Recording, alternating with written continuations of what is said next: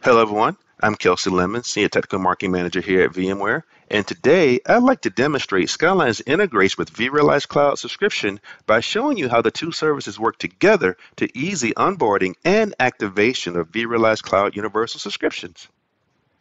If you're not already aware, vRealize Cloud Universal is a hybrid subscription offering that gives you the flexibility to consume both on-prem and SaaS vRealize Suite products and services using a single subscription license. But that's not the only benefit.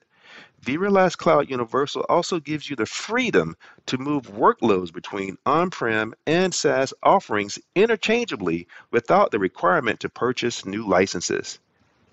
And this is where things get really interesting if you're a Skyline Advisor customer who has purchased vRealize Cloud Universal but have not onboarded or activated your licenses. You'll be happy to know that Skyline will identify eligible products, notify you of their status, even alerting you if you have on-prem licenses that are not leveraging vRealize Cloud Universal license keys, and redirect you to vRealize Cloud Subscription Manager to complete the entire process. To begin this three-step process, simply click the Get Started button. Step 1 is giving Skyline permission to share your organization name and account ID when it redirects you to the vRealize Cloud Subscription Manager. So let's accept and proceed to Step 2, where we will select the vRealize products that we like to onboard to the Subscription Manager. As you can see, this organization has several vRealize Cloud Universal licenses for vRealize Log Insight and vRealize Operations that aren't activated, as well as some on-prem perpetual licenses for vRealize Automation and vRealize Operations that are not utilizing vRealize Cloud Universal license keys. So for the sake of the demo, I'm simply going to activate my vRealize Cloud Universal License of Log Insight by selecting it and then proceeding to step three. Well, we'll need to select an order ID to proceed to the next step where Skyline redirects us to the vRealize Subscription Manager in a new tab. And this process may take a moment or two. And upon successful completion, you'll see a notification that vRealize Cloud Subscription Manager is now ready for access. Clicking on the link will direct you to the license management page in vRealize Cloud Subscription Manager where the details are pre-filled and carried over from Skyline. Under Add Customer Connect Details, enter your VMware Customer Connect password and click Validate and Add. Note, if you're already added to vRealize Cloud Subscription Manager service, your Customer Connect username is auto-filled. And now for the next step, you'll need to select a cloud proxy to begin, download the Cloud Proxy OVA and then navigate to your vSphere Web Client Data Center where you need to right click on the name of your vCenter server cluster and then select Deploy OVF.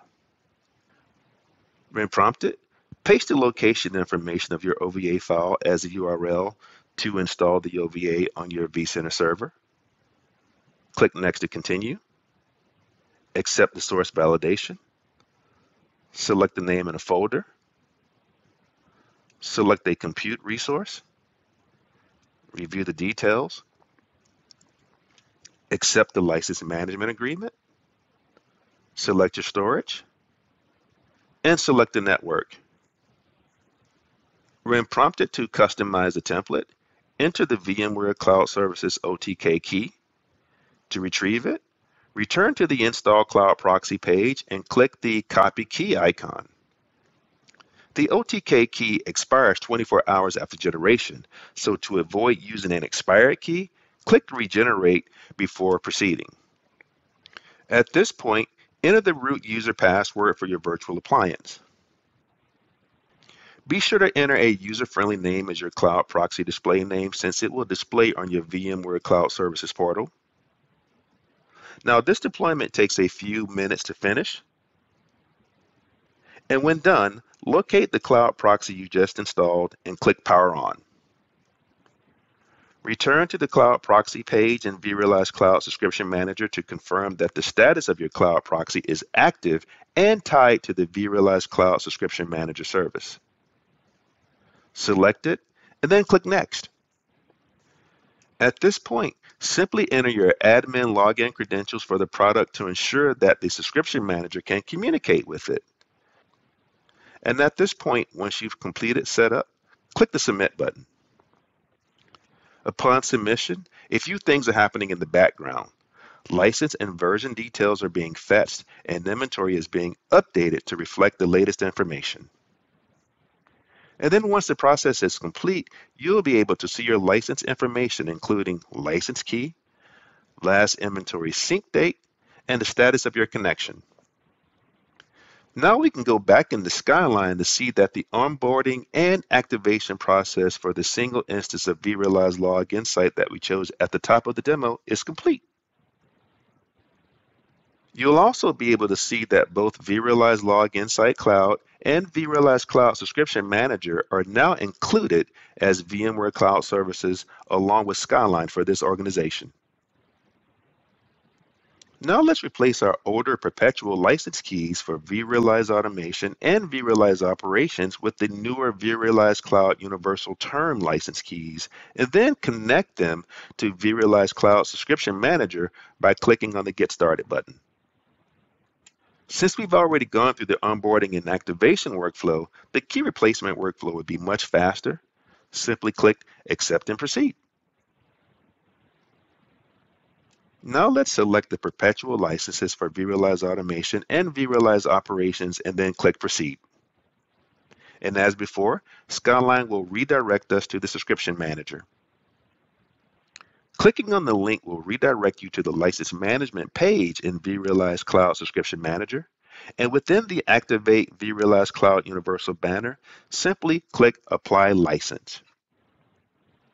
And since we've already set up our VMware Customer Connect credentials earlier for this organization, we can select it again before clicking Next. At this point, we need to apply the vRealize Cloud Universal license to activate our on-prem product and click Next. Now, if for any reason you cannot find any licenses, refresh the Customer Connect account from the settings page or check with your admin for the right permission to download licenses from your Customer Connect account. And after the license has been applied, we need to select the cloud proxy that we set up earlier in the demo before heading to the next step of adding products.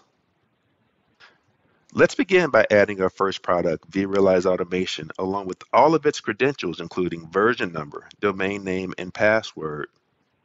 And as you do this, the subscription manager will go through the validation process to ensure that it can communicate with the product. And once the validation is done, we can add the second product, vRealize Operations, by clicking the Add button. As before, enter all the appropriate credentials to ensure that the subscription manager can communicate with the product. And upon successful validation, click the Submit button. At this point, you can monitor the status of your request by clicking on Details. And as before, License and version details are being fetched and inventory is being updated to reflect the latest information. And when the process is complete, you'll see the update here. At this point, we can go back to Skyline to see that the license types for all of the products that we activated from here have been updated to reflect that they're now being monitored by vRealize Cloud Subscription Manager.